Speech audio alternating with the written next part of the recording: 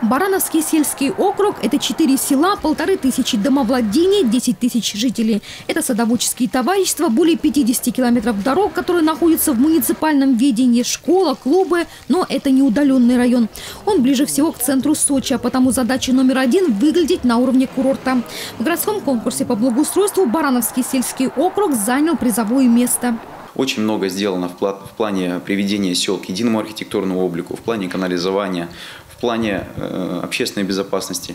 Но у нас есть планы на следующий год. Мы эти цели сейчас поставим, проводим предыдущий год, ну и уже смело будем вступать в 2016 год.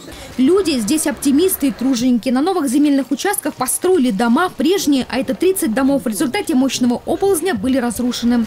В новых районах энергетики проложили новые воздушные линии. Теперь здесь надежное и качественное электроснабжение. В конце года были отключения воды из-за задолженности селян, но проблема была решена Теперь представитель водоканала адресно решает вопросы долгов с населением. С э, водопровода, рассчитанного на село Барановка, стали подавать через улицу Целинную воду вниз, в теневой поселок. Естественно, воды стало не хватать.